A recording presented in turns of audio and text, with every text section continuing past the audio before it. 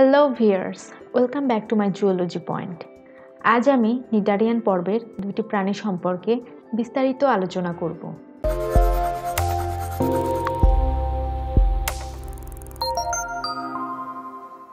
গর্গনিয়া। গর্গনিয়া এক ধরনের নিডারিয়ান। গর্গনিয়া C fan বা সমুদ্র পাখা নামে পরিচিত। গর্গনিয়া সমুদ্রের টাইডাল মার্ক অর্থাৎ জোয়ার ভাটা থেকে চার হাজার মিটার পর্যন্ত গভীরতায় এদের দেখা যায়। অগভীর সমুদ্রের সদস্যরা পাখার নেয় কিন্তু গভীর সমুদ্রের সদস্যরা সকল দিক দিয়ে শাখা তৈরি করে। গর্গনিয়া কলোনি গঠন করে কোনো পাথর বা শক্ত বস্তুর সাথে আটকে অনড়ভাবে জীবনযাপন করে।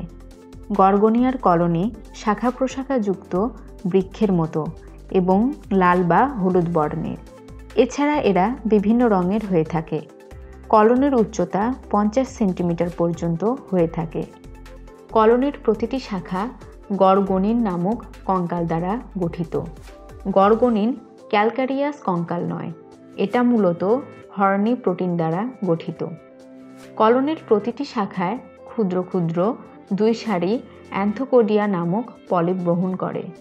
প্রতিটি অ্যান্থোকোডিয়ামে আটটি পিনেট কোর্সিকা মুখছিদ্র, আটটি গ্যাস্ট্রিক ফিলামেন্ট এবং আটটি মেসেন্টারি বহন করে। গর্গনিয়া ক্ষুদ্র ক্ষুদ্র জীব ও জৈবকণা খাদ্য হিসেবে গ্রহণ করে। এরা যৌন ও অযৌন উপায়ে বংশ বিস্তার করে।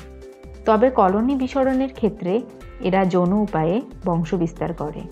শুক্রাণু এবং ডিম্বাণু পৃথক পৃথক কলোনি থেকে মুখছিদ্রের মাধ্যমে বাইরে মুক্ত হয়।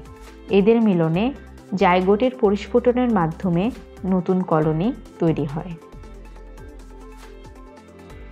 ফাইসেলিয়া। ফাইসেলিয়া গ্রিক শব্দ ব্লাডার থেকে উৎপত্তি লাভ করেছে। Physalia Portuguese man of war, অর্থাৎ পর্তুগিজ যুদ্ধ মানব নামে পরিচিত। এরা অনেকটা উল্টে যাওয়া পর্তুগিজ জাহাজের মতো দেখতে।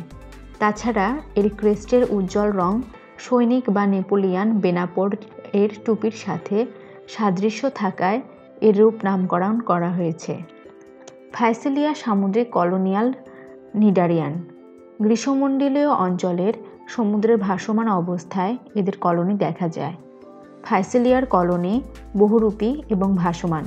কলোনিতে এক হাজারটি পর্যন্ত জুয়েট থাকতে পারে। কলোনি দেখতে উজ্জ্বল নীল বর্ণের। কলোনির মুখ্য অংশ হচ্ছে নিউমাটোফোর নামক গ্যাসপূর্ণ থলি। এটা সমুদ্রের উপরিতলে ভেসে থাকে। এর উপরে বিদ্যমান ক্রেস্ট পাল হিসেবে কাজ করে, যা বায়ু প্রবাহের দ্বারা কলোনি স্থানান্তরে সাহায্য করে। নিউমাটোফোরে একটি গ্যাস গ্রন্থি থাকে, যা থেকে গ্যাস উৎপন্ন হয়ে নিউমাটোফোরে জমা হয়। এই সকল গ্যাসের মধ্যে ninety percent nitrogen, nine percent oxygen ও ওয়ান পারসেন্ট আর্গন থাকে। নিউমাটোফোরের নিচে কলোনির বিভিন্ন জুয়েট ঝুলে থাকে। এরা হলো ডাকটাইলো জুয়েট গ্যাস্ট্রোজুয়েট এবং গণজুয়েট। ফাইসেলিয়া মাংসাশী প্রাণী, ছোট মাছ ক্রাস্টেশিয়ান প্লাংটন ইত্যাদি এরা খাদ্য হিসেবে গ্রহণ করে। ফাইসেলিয়া যৌন জননের মাধ্যমে নতুন কলোনি গঠন করে। এদের টেন্টাকলে উপস্থিত নেমাটোসিস্টে শক্তিশালী নিউরোটক্সিন আছে, যা সাপের বিষের মতোই ভয়ঙ্কর। কোনো মানুষ সমুদ্রে নামলে, এদের টেন্টাকলের সংস্পর্শে আসলে সেটা মানুষের জন্য বিপজ্জনক।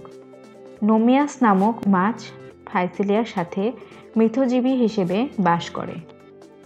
সো ফ্রেন্ডস কেমন লাগল আজকের ভিডিও যদি আপনাদের ভালো লেগে থাকে, তাহলে প্লিজ আমাদের চ্যানেলটি আপনি সাবস্ক্রাইব করুন এবং নোটিফিকেশন পাওয়ার জন্য অবশ্যই বেল আইকনটিতে প্রেস করবেন।